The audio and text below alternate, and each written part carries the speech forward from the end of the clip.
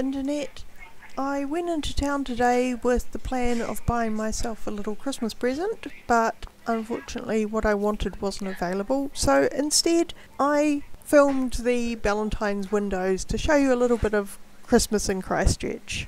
Ballantyne's is a posh department store that's a bit of a Christchurch institution. Every year they decorate their windows to tell a different story.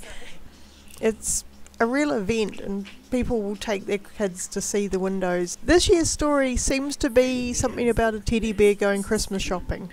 I didn't actually listen to the full story, so I'm not entirely sure, but that was the gist I got. Some of the windows have Christchurch landmarks in the background, which was quite a nice touch.